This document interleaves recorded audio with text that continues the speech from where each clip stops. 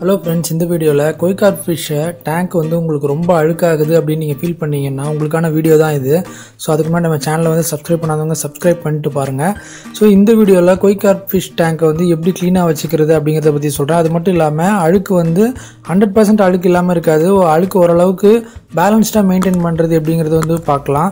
So டேங்க்கை வந்து நான் சொல்கிற டிப்ஸ் மெயின்டைன் பண்ணீங்க அப்படின்னா உங்கள் கொய்கார்ப் ஃபிஷ் டேங்க் வந்து கிறிஸ்டல் கிளியராக இருக்கும். எப்போ எந்த மாதிரி நீங்கள் லைட்டிங் போட்டு பார்த்தாலுமே வந்து அழுக்கு வந்து தெரியும். தெரியவே தெரியாது. So first of all koi carp fish வந்து வாங்கி ஒரு அதுக்குன்னு ஒரு தனியாக ஒரு டேங்க் செட் பண்ணியிருந்தாலும் சரி கோல்ட் ஃபிஷ் வச்சுருந்தாலும் சரி அது கூட டேங்க் மட்டும். அந்த ஃபிஷ் டேங்க் வந்து எப்போவுமே பேர் பாட்டமாக வைக்காதீங்க. அது வந்து பெஸ்ட்டாக இருக்கும். ஏன்னா எப்படி பார்த்தாலும் கோல்டுக்கும் கோய்க்காரப்புக்கும் வேஸ்ட் வந்து அப்படி திரி திரியாக வரும்.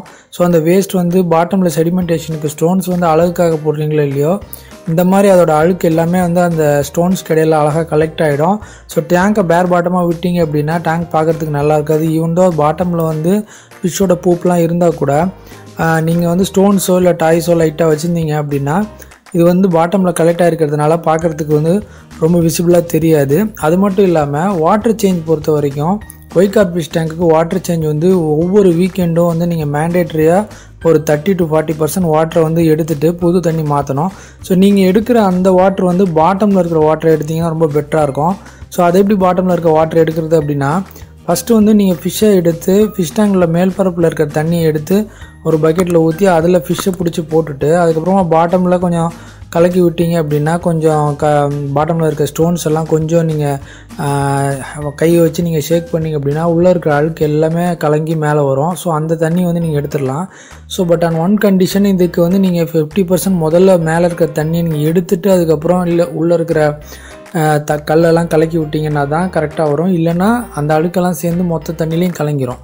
ஸோ பியூர் வாட்டரில் வந்து மேலே இருக்கிற பியூர் வாட்டரில் வந்து பெனிஃபிஷியல் பாக்டீரியா நிறைய இருக்கும். அந்த வாட்டரை வேஸ்ட் பண்ணாதீங்க. நீங்கள் ஃபிஷ்ஷு பிடிச்சி போட்ட தண்ணியை கூட மறுபடியும் நீங்கள் ஊற்றிக்கலாம் ஸோ புது தண்ணியோட மிக்ஸ் பண்ணி ஊற்றிக்கலாம் அதுதான் வந்து உங்கள் ஃபிஷ்ஷுக்கு வந்து ரொம்பவே ஹெல்த்தியாக இருக்கும். அது மட்டும் இல்லாமல் ஃபிஷ்ஷில் ஃபிஷ் டேங்கில் போடக்கூடிய ஸ்டோன்ஸ் ஆகட்டும் அதில் வைக்கிற டாய்ஸ் ஆகட்டும். ஸோ இது ரெண்டுத்துலேயுமே வந்து ஒரு லிமிடேஷன்ஸ் வச்சுக்கோங்க. கோய்கார் ஃபிஷ் டேங்க் பொறுத்த வரைக்கும். ஸோ இது அதிகமாக இருந்தது அப்படின்னா நீங்கள் ஃபிஷ் டேங்க் வந்து இந்த மாதிரி வீக்லி நான் சேஞ்ச் பண்ண சொல்கிறேன் இல்லையா? இந்த மெத்தட் வந்து நீங்கள் ஃபாலோ பண்ணவே முடியாது. ஸோ டாய்ஸை கழுவுறதுக்கும் நீங்கள் இதுக்கெல்லாம் டைம் அதிகமாக ஸ்பெண்ட் பண்ணிங்கன்னா இது மேலே ஒரு உங்களுக்கு ஒரு இன்ட்ரெஸ்ட்டே வராமல் போயிடும் இந்த க்ளீனிங் வந்து ரொம்ப டைம் எடுக்கும் அப்படிங்கிறது உங்களுக்கு இனிஷியலாகவே தோணுச்சுன்னா நீங்கள் அதுக்குள்ளே வரவே மாட்டீங்க. So five to six days வந்து நீங்கள் ஒர்க் பண்ணுவீங்க. ஒரு நாள் தான் உங்களுக்கு லீவ் இருக்கும். ஸோ இந்த வீக்கெண்ட் வாட்டர் சேஞ்ச் அப்படிங்கிறது உங்களுக்கு வந்து பண்ணுறதுக்கு ரொம்பவே சோம்பேறித்தனமாயிடும். ஸோ வாட்டர் சேஞ்ச் பொறுத்த வரைக்கும் சொல்லிட்டேன். ரெண்டாவது முக்கியமான விஷயம் என்னென்னா ஃபீடு பொறுத்த வரைக்கும் கோய் கார்புக்கு லிமிட்டடாக ஃபீட் பண்ணோம். கோய் ஃபிஷ் வந்து எவ்வளோ ஃபுட்டு போட்டாலும் சாப்பிட்டே இருக்கும். அதாவது நீங்கள் பிளட் பாங்க் போட்டாலும் சரி ஃபேக்ட்ரி மேட் கோய் ஃபுட்ஸ் அதாவது தயோலே வந்து கோய் ஃபிஷ்ஷுக்குன்னு கோய் ஃபிஷ்க்குன்னு தனியாக ஃபுட்ஸ் எல்லாம் விற்கிறாங்க அந்த ஃபுட்டு வந்து நீங்கள் ஜாஸ்தியாக போட்டிங்கன்னா எதுவுமே அது வேஸ்ட் பண்ணாமல் சாப்பிட்றோம் பட் ஆனால் பிரச்சனை என்ன ஆகும்னா வேஸ்ட் அதிகமாக ப்ரொடியூஸ் பண்ணி டேங்க் சீக்கிரமாக கலங்க ஆரம்பிச்சிடும் ஸோ இப்போ தான் வந்து நம்ம தண்ணி மாற்றணும் அதுக்குள்ளே கலங்கலாக தெரியுது அப்படின்னு சொல்லி ரொம்ப இரிட்டேட் ஆவீங்க. ஸோ இதுக்கு எல்லாமே நீங்கள் போடுற வேஸ்ட் வந்து நீங்கள் போடக்கூடிய ஃபுட்டு தான் வந்து எக்ஸஸாக இருக்கிறது தான் காரணம். ஸோ ஃபுட்டு எப்படி லிமிட்டடாக போடுறதுனா உங்கள் கோழி ஃபிஷ் என்ன சைஸ் இருந்தாலும் சரி அதோட கண் அளவு என்னன்னு பார்த்துக்கோங்க.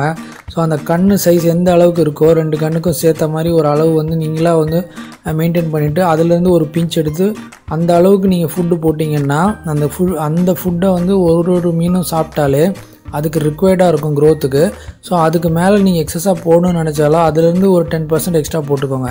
இதுக்கு மேலே நீங்கள் போடவே தேவையில்ல. நிறைய பேர் பண்ணுற தப்பு என்னென்னா பிகினராக இருக்கும்போது கொய் கார் ஃபிஷ்க்குன்னு டேங்க் செட் பண்ணிவிடுவாங்க கொய் ஃபிஷ்க்கு ஃபுட்டு போடும்போது ஃபுட்டு டப்பாலே ஸ்பூன் டீஸ்பூன் மாதிரி வச்சுருப்பாங்க. ஸோ ரெண்டு டீஸ்பூன் மூணு டீஸ்பூன் ஏதோ சுகர் போடுற மாதிரி அள்ளி போட்டுருவாங்க. ஸோ இந்த மாதிரி தப்புலாம் பண்ணுறதுனால டேங்க்கில் இருக்கிற வாட்டர் வந்து சீக்கிரம் கண்டாமினேட் ஆக ஆரம்பிச்சிடும் இது ஒரு பாயிண்ட் ஸோ ஃபீடிங்கில் பண்ணுற மிஸ்டேக்கை பண்ணவே பண்ணாதீங்க.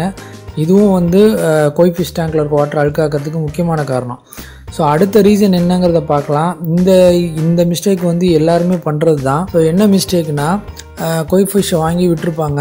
ஸோ ஒரு ஒன் மந்த் டூ மந்த்ஸ் கழித்து ஏதாவது ஒரு ரீசனில் ஒன்று ரெண்டு ஃபிஷ் செத்து போகுதுன்னு வச்சுக்கோங்களேன். மறுபடியும் போய் ஃபிஷ் வாங்கிட்டு வந்து விடுவாங்க. மறுபடியும் சாகும். ஸோ அதே மாதிரி என்ன சீசனில் வின்டர் சீசன்லலாம் ஃபிஷ் நிறைய வாங்கி விடவே கூடாது. அதே மாதிரி ஒரு ரெண்டு அடி இல்லை மூணு அடி டேங்க் இருக்குன்னா அதில் எத்தனை ஃபிஷ்ஷஸ் விடலாம் அப்படின்னு சொல்லி ஒரு கணக்கு இருக்கும். ஸோ அந்த கணக்கை பற்றி யோசிக்கவே மாட்டாங்க. இவ்வளோ தான் விடணுன்றது ஒரு ஒரு ஐடியா இல்லாமல் ஸோ டேங்க் நிறைய ஃபிஷ்ஷஸ் இருந்தால் நல்லாயிருக்கும் பார்க்குறதுக்கு அப்படின்னு சொல்லிட்டு ஃபிஷ்ஷஸை வாங்கி டாப்அப் பண்ணிக்கிட்டே இருப்பாங்க. கொய் ஃபிஷ் வந்து புதுசாக வாங்கி விட்டுட்டே இருப்பாங்க. ஸோ ஆக்சுவலாக என்னென்னா ஃபிஷ் நிறைய விடுறதுனால ஃபிஷ்ஷுக்கு வந்து பிரச்சனை வரும்ன்றது ஒரு பாயிண்ட்டு ரெண்டாவது ஃபிஷ் அதிகமாக இருக்கும்போது எல்லா ஃபிஷ்ஷோட வேஸ்ட்டும் வந்து அங்கேயே தான் சர்க்குலேட் ஆகிட்டுருக்கு அப்படிங்கிறத நம்ம மறந்துடக்கூடாது. ஸோ அதனால் வாட்டரில் அமோனியா நைட்ரேட் லெவல்ஸ்லாம் இன்க்ரீஸ் ஆகும். அதனால் கண்டிப்பாக உங்கள் ஃபிஷ் வந்து ஒன்று ஒன்றா நீங்கள் லூஸ் பண்ணுவீங்க. இது லூஸ் ஃபிஷ்ஷை லூஸ் பண்ணுறதுனால உங்களுக்கு காஸ்ட் வைஸ் வந்து பிரச்சனை வரும். அது ஒன்று அது ஒரு பாயிண்ட்டு ஸோ அடிக்கடி தண்ணி வந்து கலங்கலாகிட்டே இருக்கும். ஸோ ஒரு நாலு நாள் அஞ்சு நாள்லேயே பார்த்தீங்கன்னா என்னடா இது இவ்வளோ இப்போ தான் வீக்கெண்டில் க்ளீன் பண்ண அதுக்குள்ளே இந்த அளவுக்கு கலங்கலாக இருக்குது அப்படின்னு சொல்லி பார்த்தீங்கன்னா நீங்கள் ஃபிஷ் டேங்கில் ஃபிஷ்ஷஸ் அதிகமாக வச்சுருக்கிறது ஒரு காரணம். ஸோ கொய்கார்ப் ஃபிஷ் அதாவது வேஸ்ட் அதிகமாக ப்ரொடியூஸ் பண்ணுற ஃபிஷ்ஷஸ் வளர்த்தாலே ஒரு ட்ரிக்கியான மெயின்டெனன்ஸ் பண்ணி இப்போ பேலன்ஸ்டாக கொண்டு போனால் மட்டும்தான் வாட்டரை கிறிஸ்டல் கிளியராக நம்ம வச்சுக்க முடியுமே தவிர ஸோ இதுக்குன்னு எதுவும் மேஜிக்லாம் பண்ண முடியாது நம்ம இந்த ஹாபியில் ஸோ அதே மீறி நீங்கள் வந்து ஜாஸ்தியாக ஃபிஷ்ஷஸ் வளர்க்கணும்னு நினச்சிங்கன்னா ஃபில்டரில் வந்து ரொம்ப காஸ்ட்லியான ஃபில்டர் கேனிஸ்டர் அந்த மாதிரி ஃபில்டர்லாம் வச்சுருக்கீங்க அப்படின்னா மட்டும்தான் ஸோ அதில் வந்து பார்த்திங்கன்னா ஆளுக்கு கரெக்டாக கலெக்ட் ஆகும். நல்ல வந்து வாட்டர் சர்க்குலேஷன் இருக்கும். அதே மாதிரி ஃபிஷ்ஷோட ஃபிஷ் டேங்கில் வாட்டரில் இருக்கிற வேஸ்ட் எல்லாமே ப்ராப்பராக கலெக்ட் ஆகிட்ருக்கும் வேறஸ் நீங்கள் எக்ஸஸாக வந்து ஃபிஷ்ஷஸை விட்டுட்டு வெறும் இன்டர்னல் ஃபில்டர் மட்டும் வச்சுருந்தீங்கன்னா அது வேலைக்கே ஆகாது. ஸோ ஒரு ஃபில்டருக்குன்னு ஒரு கெப்பாசிட்டி இருக்குது இவ்வளோ வேஸ்ட் தான் அது கலெக்ட் பண்ணும். இவ்வளோ நாள் தான் அதோட லிமிட் அதுக்கப்புறமா அது ஸ்டக்கப் ஆயிரும். அந்த ஸ்பாஞ்ச் வந்து அவ்வளோதான் கலெக்ட் பண்ணும். ஸோ நீங்கள் வச்சுருக்க இன்டர்னல் ஃபில்டரில் அந்த ஸ்பாஞ்ச் கலெக்ட் பண்ணுற அளவுக்கு வேஸ்ட்டுக்கு அது நீங்கள் எப்படி வந்து கரெக்டாக நீங்கள் பேலன்ஸ் பண்ண முடியும்னா ஃபிஷஸோட எண்ணிக்கையில் தான் இருக்குது இப்போ இத்தனை அடி டேங்க்குக்கு இவ்வளோ ஃபிஷஸ் வச்சுருந்தா கரெக்டாக இருக்கும் அப்படிங்கிற மாதிரி ஒரு கணக்கு இருக்கும். ஸோ அந்த கணக்கு வந்து ஃபாலோ பண்ணிக்கோங்க. நீங்கள் அக்வாரியம் ஷாப்பில் கேட்டிங்கன்னா அவங்க நிறைய வாங்கி விடலான்னு சொல்லுவாங்க. ஸோ அந்த கணக்கு வந்து ஃபாலோ பண்ணுறத விட ஓரளவுக்கு லிமிட்டடாக நீங்கள் மெயின்டைன் பண்ணிக்கிறது நல்லது. உங்களுக்கு டேங்க் ஃபுல்லாக ஃபிஷஸ் இருக்கணும்னு நீங்கள் நினச்சாலும் அதை ஓரளவுக்கு வச்சுக்கோங்க. ரொம்பவே வந்து நீங்கள் ஓவர் பாப்புலேட் பண்ணீங்க அப்படின்னா இது வந்து ப்ராப்பராக இருக்காது. உங்களுக்கு வந்து அது செட்டும் ஆகாது. நீங்கள் அந்த மாதிரி வச்சிங்கன்னா உங்களுக்கு மெயின்டெனன்ஸ் வந்து பெரிய தலைவலியாகிடும் நீங்கள் கரெக்டாக டேங்க்கில் தண்ணியை மாற்றி கரெக்டாக க்ளீன் பண்ணி ஃபிஷ்ஷஸ் விடுறப்போ பார்க்குறதுக்கு ரொம்ப அழகாக இருக்கும். அதுவே நாள் போக போக என்ன ஆகும்னா ரொம்ப கலங்கலாகி தலைவலி க்ரியேட் பண்ணும். ஸோ ஓவர் பாப்புலேஷனுங்கிற தப்பை மட்டும் பண்ணாதீங்க. அது கோய் ஃபிஷ்க்கு முக்கியமான விஷயம். முக்கியமான ரீசன் வந்து டேங்க் வந்து அடிக்கடி அழுக்காகிறதுக்கு அதுதான் காரணம். ஸோ இந்த வீடியோ உங்களுக்கு பிடிச்சிருக்குன்னு நம்புகிறேன் யூஸ்ஃபுல்லாக இருக்கும்னு நான் நம்புகிறேன் பிடிச்சிருந்தா லைக் பண்ணி யூஸ்ஃபுல்லாக இருந்தால் ஷேர் பண்ணி மறக்காம நம்ம சேனலுக்கு சப்ஸ்கிரைப் பண்ணி பெல் நோட்டிஃபிகேஷன் ஆல் ப்ரெஸ் பண்ணிக்கோங்க. தேங்க்யூ ஃபார் வாட்சிங்